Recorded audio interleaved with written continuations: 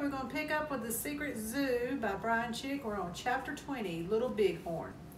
The rhino's dagger sharp curved horn slid up Ella's back, meticulously skipping over her over each disc in her spine as it slipped beneath her jacket. The enormous animal's simple touch revealed all its might, all its power, and all its potential. Just when Ella was certain she would be speared, the rhinoceros hoisted her out of the mud with one clean jerk of its head. Ella dangled in the air at the end of its snout. Hey, she said, squirming and kicking the air. Richie, help! The rhino sloshed through the mud, bouncing and swinging her from his point horn like a puppet on a short fat string.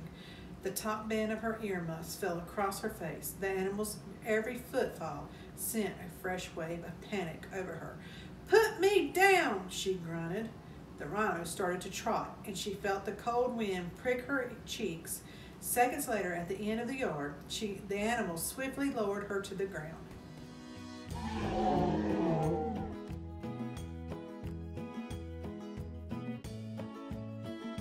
Ella recovered quickly and spun around. Here, near the zoo lights, she caught her first glimpse of the animal.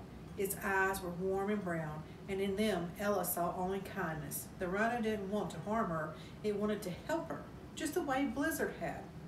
It snorted, spun around, and quaked back into the darkness. Seconds later, she heard Richie shrieking. This can't be happening! Ella shuddered. The rhino charged out of the shadows, dangling Richie by his backpack. When it reached Ella, it dipped its head and slipped the boy off his spike. Richie scrambled to Ella's side, and together the scouts gazed up at the huge beast. It's, it's friendly, Richie gasped. Maybe they're all friendly, Ella said, at least to us. She reached up, the rhino lowered his head and allowed Ella to pet the side of its face. Its skin was hard and rough. Thanks, Ella said. For the help, I mean. The rhino grunted and nudged them toward the main part of the zoo, which is massive, with its massive head. It wants us to go, Richie said. It wants us to find Megan, Egan declared. Somehow it knows. This is too weird. I have a feeling we haven't seen anything yet. The rhino nudged them again. Let's go, Richie said. I don't want to be rude to this guy. Yeah, Ella said, especially when it could make a shish kebab out of us with one poke of its horn. The rhino nudged them a third time, and the scouts paid heed.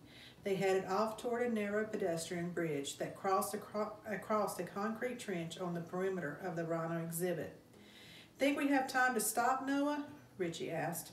We're not going to stop him, Ella countered. We're going to join him. But where's he going? Heck if I know, Richie. Sighed, whatever that means. They crossed the bridge and scrambled to the main path. Ella turned back to look at the sign over the entrance to the exhibit. She's seen it too many times to count, but reading it now was like reading it for the first time. Welcome to Rhino-Rama, home to the biggest rhinoceros in North America, Little Bighorn. As the scouts raced ahead, Ella whispered, See you later, Little Bighorn. Though the words were intended to be fond farewell, Ella was right. She would see Little Bighorn again she would not see a lot of him and she would see a lot of him indeed.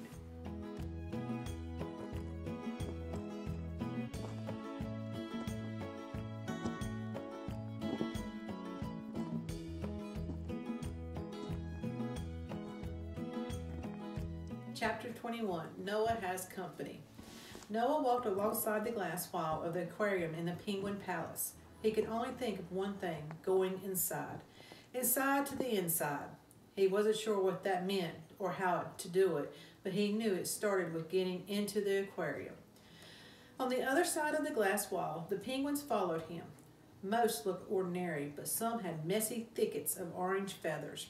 Each one waddled along the edge of the icy island, flapping its flippers. They kept bumping into one another, and occasionally one slipped on the ice and splashed into the water.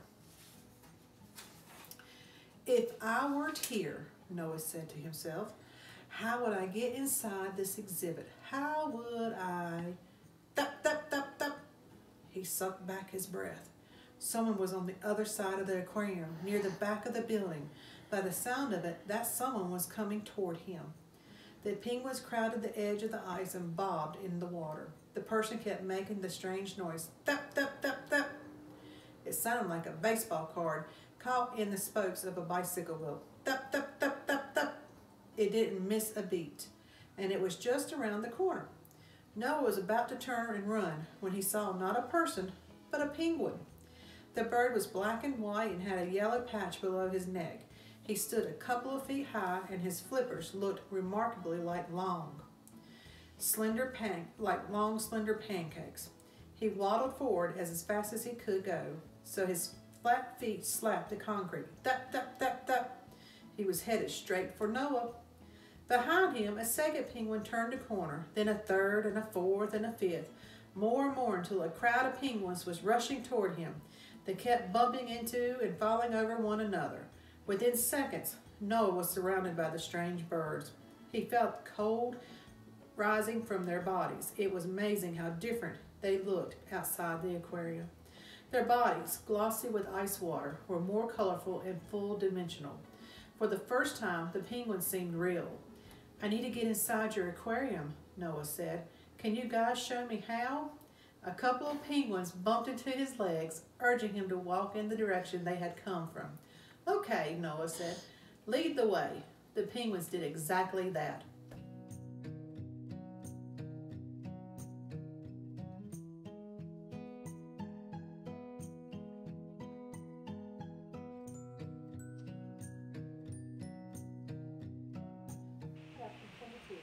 Becomes speechless.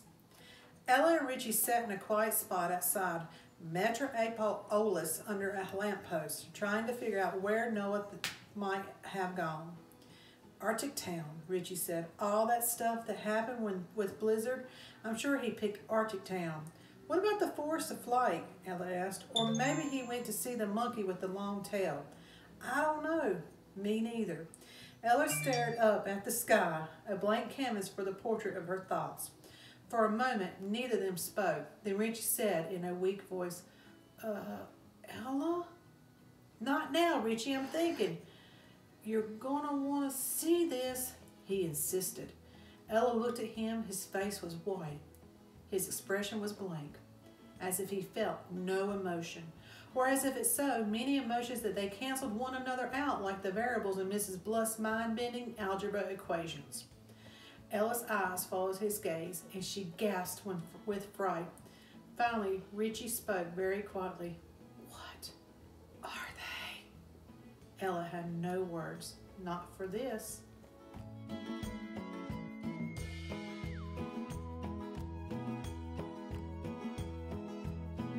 Chapter 23 Marching with Penguins. The penguins led Noah to a door in the wall opposite the aquarium. The sign read, Employees Only. Three penguins jumped at the door and thrust it open. Inside was a narrow hallway with a steep wooden floor. The penguins led Noah up the ramp. A few feet ahead, the passageway swung around a sharp turn.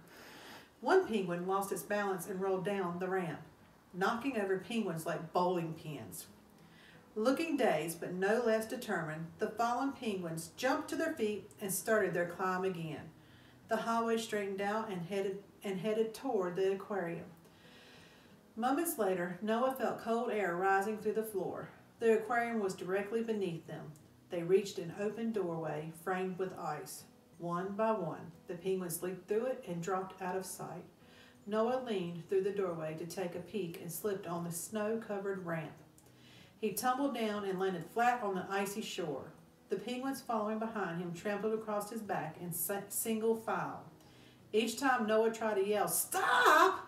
A webbed foot landed on his head and pressed his face into the snow. Finally, when all the penguins had crossed over him, he worked his way to his feet and looked around. The inside of the aquarium was covered in a snow, frost, and ice. Penguins were everywhere, and the black eyes of each suited bird was pinned on him. Noah dust, dusted the snow off his jacket. His breath rose from his mouth like steam. He didn't know what the birds expected from him, so he simply stated his purpose. I'm looking for a penguin named Podgy.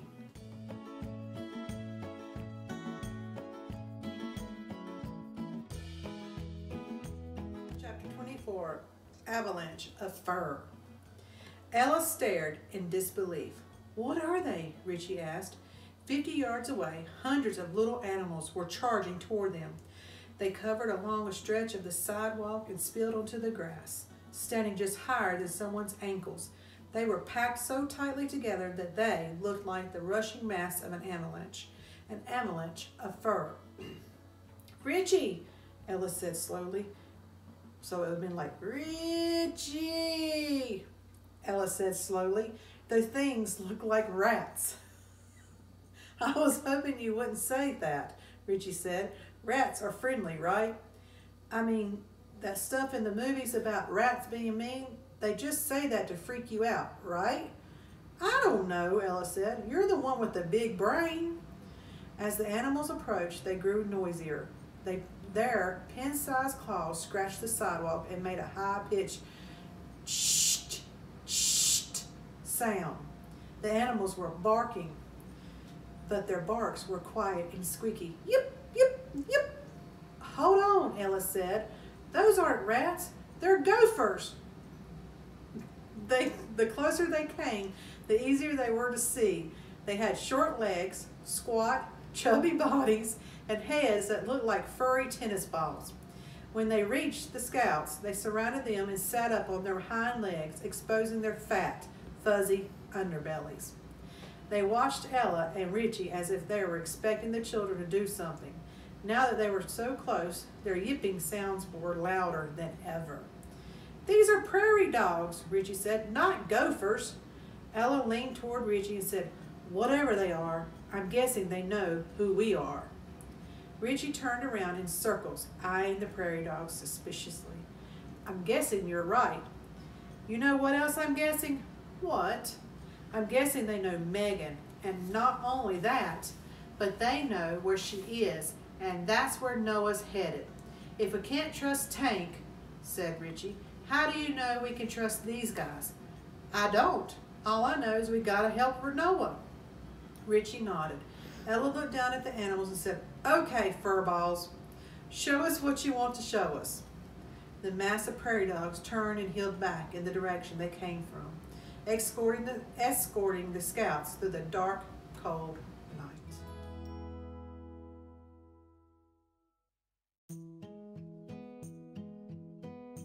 Chapter 25 Noah on Ice. A huge penguin rounded the block of ice. He was as tall as Noah, and he looked like he weighed close to 60 pounds. As he waddled forward, the blubber on his belly rolled from side to side. He stopped in front of the scout, tipped back its head, and casually aimed his bill upward the way penguins do. Podgy, Noah said. You are Podgy, right? The penguin didn't reply. Tank told me to meet you. Noah paused for a second. Can you understand what I'm saying? Still no response. Tank said, without warning, the penguin dropped his bill and lunged into Noah. Penguin and boy crashed downward, hit the ice, and rolled into the water. Noah sank. On one side was the icy island, on the other was the long glass wall of the aquarium. He heard muffled splashes one after another. Penguins were diving in around him. They started to swim up and down the channel, churning the water. Noah panicked and gulped freezing water. His rear end struck something, the bottom of the tank. Looking up, he could see only the white undersides of swimming penguins. He pushed up from the floor of the tank, but a penguin struck him down. Dazed, he sank a second time. Around him, the icy water churned. He felt faint. He was exhausted. He never should have trusted Tank. Tank has said the fate of the world depended on keeping the secrets of the zoo safe. Noah's life was an easy trade. Another penguin crashed into him. Noah gulped more water. He knew he was seconds from drowning.